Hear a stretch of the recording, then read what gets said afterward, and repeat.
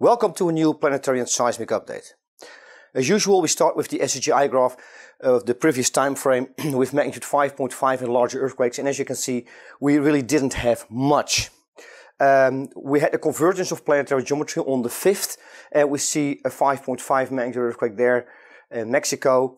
And then we had the lunar conjunction on the 6th with Jupiter, and we see a 6.1 just after that lunar conjunction occurred in Antofagasta, Chile. And then we go to the next lunar conjunction with Mars and we see some seismic response there at the Ryukyu Islands, 5.7, 5.9. and just this morning, uh, a 6.5 at the Jan Islands region, and that's north of Iceland. Um, I also mentioned the planetary conjunction coming up with uh, Mercury, Venus, and Earth, and I said that that's going to be significant. Um, it may actually already have contributed to the 6.5 uh, this morning because it was pretty strong and the conjunction is already really tight. So if you look at the next time frame up until the uh, 20th of March, uh, we see there at the right here at the beginning uh, Venus, sorry, uh, Mercury, Venus, Earth in a conjunction. And the interesting thing is that it converges with full moon because in a few days we're going to have full moon. it's a tight convergence. And if you look at the last 25 years, that planetary and lunar geometry in a convergence happened only two times in the last 25 years.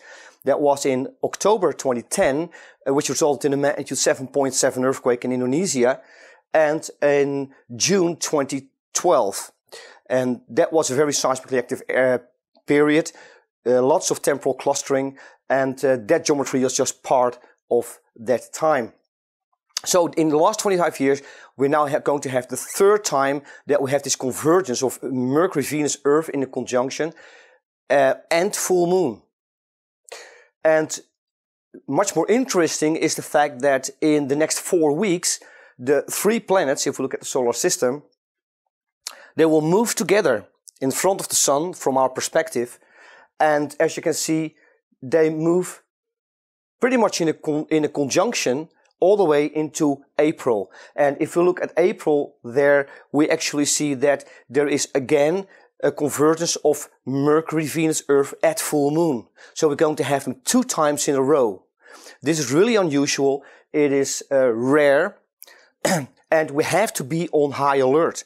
As I said, in 2010, when it happened, we had a magnitude 7.7 earthquake, and that's kind of seismic activity we should anticipate with this planetary and lunar geometry. Now, it's going to be difficult because we're going to have this geometry in the next four weeks, but the, convergence with full moon, that happens with the full moon, which is also a, a lunar eclipse, by the way, on the 14th and also in April again with full moon. It's the convergence that really counts. But I do uh, expect some seismic increase in the next couple of weeks uh, because of this tight uh, conjunction with the three planets all the way into April.